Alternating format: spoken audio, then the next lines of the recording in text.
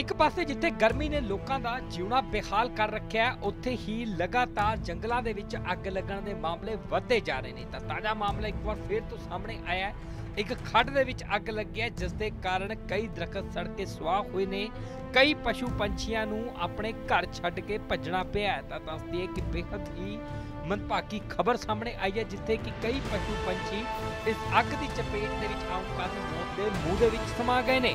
ਤਾਂ ਜੰਗਲਾਂ ਦੇ ਵਿੱਚ ਲਗਾਤਾਰ ਅੱਗ ਲੱਗਣ ਦੇ ਮਾਮਲੇ ਵੱਧਦੇ ਜਾ ਰਹੇ ਨੇ। ਇੱਕ ਪਾਸੇ ਜਿੱਥੇ ਗਰਮੀ ਲੋਕਾਂ ਦੇ ਵੱਟ ਕੱਢ ਰਹੀ ਹੈ, ਉੱਥੇ ਹੀ ਗਰਮੀ ਦੇ ਕਾਰਨ ਕਿਹਾ ਜਾ ਰਿਹਾ ਕਿ ਜੰਗਲਾਂ 'ਚ ਅਚਾਨਕ ਅੱਗ ਲੱਗ ਜਾ ਰਹੀ ਹੈ। ਤਾਂ ਤਾਜ਼ਾ ਮਾਮਲਾ ਸ਼੍ਰੀ ਆਨੰਦਪੁਰ ਸਾਹਿਬ ਤੋਂ ਸਾਹਮਣੇ ਆਇਆ, ਜਿੱਥੇ ਕਿ ਚਰਨ ਗੰਗਾ ਖੱਡ ਦੇ ਵਿੱਚ ਇਹ ਅੱਗ ਲੱਗੀ ਹੈ, ਜਿਸ ਦੇ ਕਾਰਨ ਲੋਕਾਂ ਦੇ ਵਿੱਚ ਭਾਜੜਾ ਪਈਆਂ ਨੇ।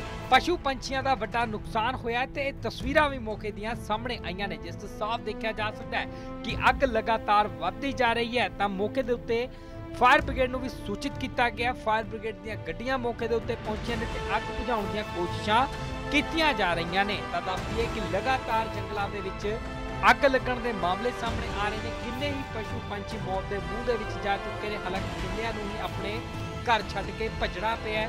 ਤਾਂ ਇਹ ਤਸਵੀਰਾਂ ਇੱਕ ਵਾਰ ਫਿਰ ਤੋਂ ਤੁਹਾਨੂੰ ਦਿਖਾ ਰਹੇ ਹਾਂ। ਸ਼੍ਰੀ ਆਨੰਦਪੁਰ ਸਾਹਿਬ ਤੋਂ ਸਾਹਮਣੇ ਆ ਰਹੀਆਂ ਨੇ, ਜਿੱਥੇ ਕਿ ਚਰਨ ਗੰਗਾ ਖੱਡ ਦੇ ਵਿੱਚ ਅਚਾਨਕ ਅੱਗ ਲੱਗੀ ਹੈ। ਫਾਇਰ ਬ੍ਰਿਗੇਡ ਦੀਆਂ ਕਈ ਗੱਡੀਆਂ ਮੌਕੇ ਤੇ ਪਹੁੰਚੀਆਂ ਨੇ ਤੇ ਅੱਗ ਦੇ ਉੱਤੇ ਕਾਬੂ ਪਾਉਣ ਦੀਆਂ ਕੋਸ਼ਿਸ਼ਾਂ ਕੀਤੀਆਂ ਜਾ ਰਹੀਆਂ ਨੇ। ਤਾਂ ਇਹ ਤਸਵੀਰਾਂ ਖੁਦ ਬਿਆਨ ਕਰ ਰਹੀਆਂ ਨੇ ਕਿ ਅੱਗ ਕਿੰਨੀ ਭਿਆਨਕ ਰਹੀ ਹੋਵੇਗੀ। ਹਾਲਾਂਕਿ ਉੱਥੇ ਦੇ ਲੋਕਾਂ ਦਾ ਕਹਿਣਾ ਹੈ ਕਿ ਕਈ ਦਰਖਤ ਸੜ ਕੇ ਇਸ ਅੱਗ ਦੇ ਕਾਰਨ ਸੁਆਹ ਹੋਏ ਨੇ। ਹਾਲਾਂਕਿ ਇਹ ਕੋਈ ਪਹਿਲਾ ਮਾਮਲਾ ਨਹੀਂ ਹੈ। ਲਗਾਤਾਰ ਹੀ ਜੰਗਲਾਂ ਦੇ ਵਿੱਚ ਅੱਗ ਦੇ ਮਾਮਲੇ ਸਾਹਮਣੇ ਆ ਰਹੇ ਨੇ। ਹਾਲਾਂਕਿ ਅੱਗ ਲੱਗਣ ਦਾ ਕਾਰਨ ਵੀ ਗਰਮੀ ਦੱਸੀ ਜਾ ਰਹੀ ਹੈ ਕਿ ਗਰਮੀ ਦੇ ਕਾਰਨ ਅਚਾਨਕ ਹੀ ਦਰਖਤਾਂ ਦੇ ਵਿੱਚ ਜੋ ਸੁੱਕੀਆਂ ਝਾੜੀਆਂ ਨੇ, ਉਹਨਾਂ ਦੇ ਵਿੱਚ ਅੱਗ ਲੱਗ ਜਾ ਰਹੀ ਹੈ। ਜਿਸ ਤੋਂ ਬਾਅਦ ਇਹ ਅੱਗ ਫੈਲਦੀ ਫੈਲਦੇ ਪੂਰੇ ਜੰਗਲ ਨੂੰ, ਪੂਰੇ ਇਲਾਕੇ ਨੂੰ ਵੀ ਆਪਣੀ ਲਪੇਟ ਦੇ ਵਿੱਚ ਲੈ ਲੈ ਰਹੀ ਹੈ। ਤਾਂ ਕਿ ਜਿੱਥੇ ਅੱਗ ਲੱਗੀ ਹੈ, ਉੱਥੇ ਇੱਕ ਸਕੂਨ ਵੀ ਹੈ। ਸਕੂਲ ਦਾ ਵੀ ਵੱਡਾ ਬਚਾਅ ਹੋਇਆ ਕਿਉਂਕਿ ਨਾਲ ਹੀ ਕਿਹਾ ਜਾ ਰਿਹਾ ਕਿ ਬਿਜਲੀ ਦੀਆਂ ਤਾਰਾਂ ਵੀ ਲੱਗਦੀਆਂ ਨੇ, ਟਰਾਂਸਫਾਰਮਰ ਵੀ ਨੇ ਤੇ ਮੌਕੇ ਦੇ ਉੱਤੇ ਫਾਇਰ ਬ੍ਰਿਗੇਡ ਦੀਆਂ ਗੱਡੀਆਂ ਪਹੁੰਚੀਆਂ ਨੇ।